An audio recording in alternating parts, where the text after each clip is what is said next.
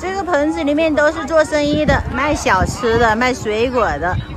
湖南省还有一个极具性价比的原生态的避暑胜地，它就是位于湖南省隆回县的虎形山花瑶乡。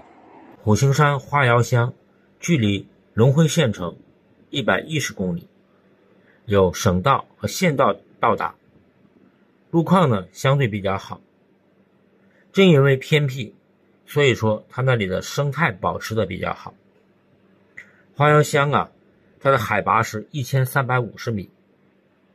由于没有热岛效应，海拔又高，里边的氧气呢十分充足，它的森林覆盖面积啊达到了百分之七十六。夏季最高温度才二十七度，七月份平均温度为二十二点三度。花瑶乡啊。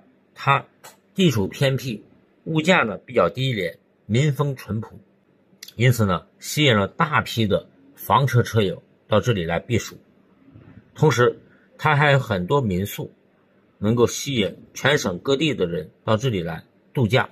这里呢，由于是花瑶乡乡政府所在地，因此呢这里相对来说比较繁荣，购物、医疗等等都有它的优势，因此。